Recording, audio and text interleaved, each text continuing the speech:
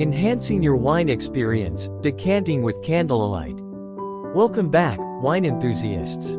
Today, we're exploring a classic technique that adds both elegance and practicality to your wine ritual, decanting with candlelight. Join us as we unlock the secrets of this timeless method. Decanting with a candle is not just about aesthetics. It's a methodical approach to ensuring your wine is served at its best. Using a candle for decanting serves primarily as a visual aid, to help detect any sediment that may be present in the wine.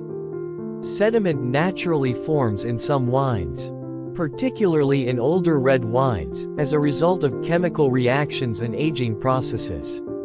While sediment is not harmful, it can affect the texture and taste of the wine if consumed. Let's dive into the steps. Step 1. Prepare your decanter and candle. Choose a stable surface for your decanter and position a candle nearby.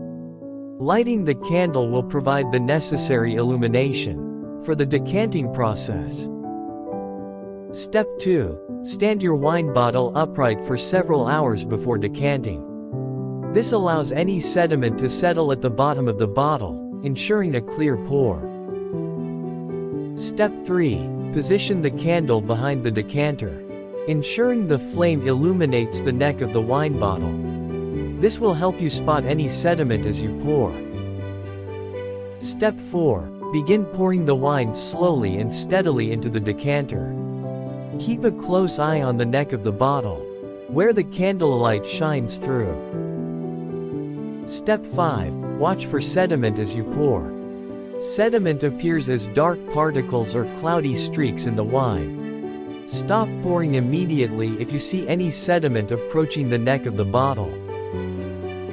Step 6. Once you've decanted the clear wine, Discard any remaining wine in the bottle that contains sediment. You're now ready to enjoy your beautifully decanted wine. Decanting with candlelight not only adds a touch of sophistication to your wine experience, but also ensures that you serve and enjoy your wine at its best. Cheers to the art of decanting. If you found this video helpful, be sure to give it a thumbs up and subscribe for more wine tips and tricks. Until next time, happy decanting and cheers!